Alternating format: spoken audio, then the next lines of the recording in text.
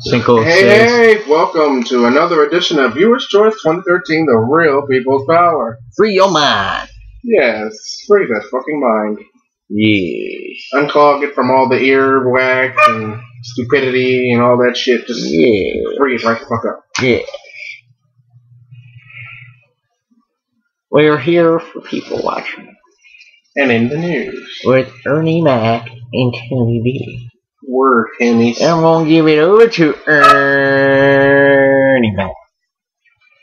People watching, go for it. Ernie Mac. Go for it. Give him a review of my. What's wrong with you? Anyways, welcome to another edition of People Watching. So, alright, I got a question for y'all. This is something I've wondered for a while. Um, Uh-huh. Alright, doctors. Male doctors, female doctors. Doctors. Are you going to repeat everything I say? No. Okay, just making sure. So, like I was saying, male doctors, female doctors. Everyone has a preference. Why exactly is that? So, like for example, you're if you're a male, you would want. I'm guessing you would want a female doctor performing like like ball check. ball checks and uh, what's the one with the finger, the prostate exams and shit like that. And if you're a female, you would also want a female doctor. I'm guessing, unless you're just really nasty. Really freaky.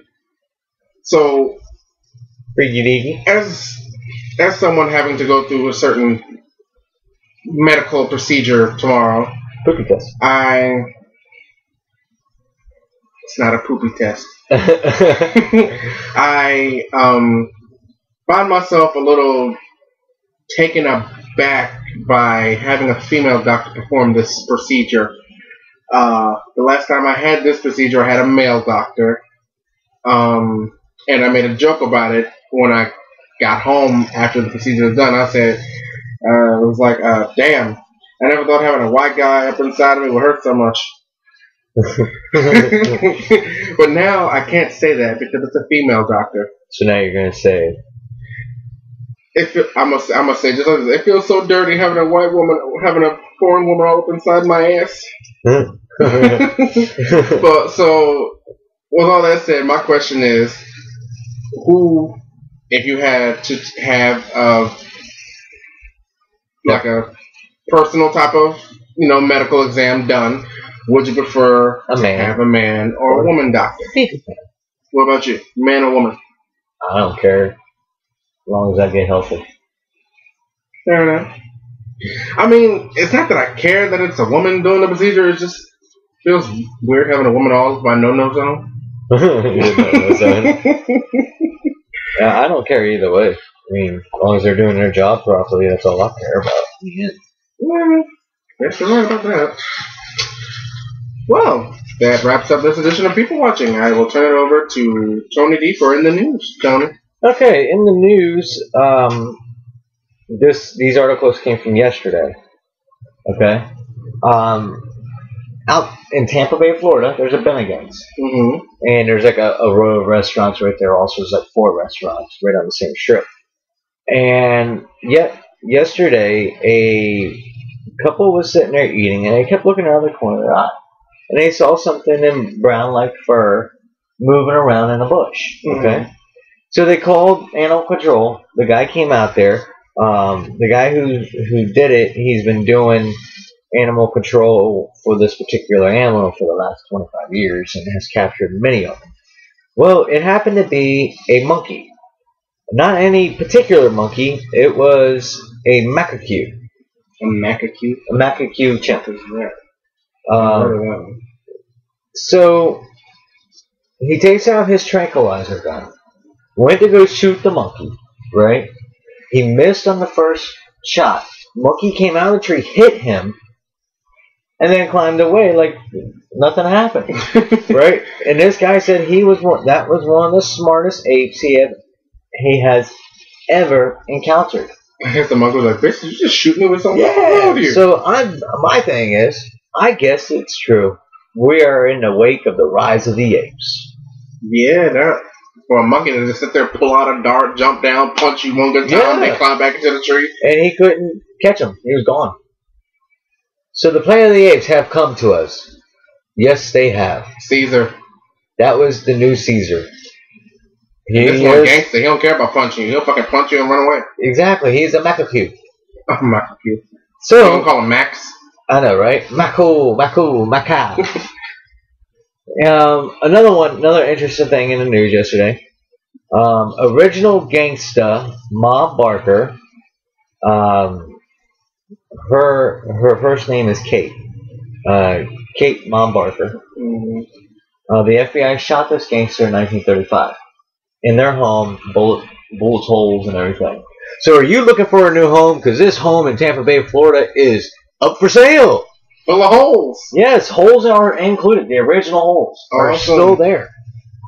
So, That could be like some straight up fucking uh, museum type material right there. Turn your place into a museum. Shit, Yeah, people I come up in there.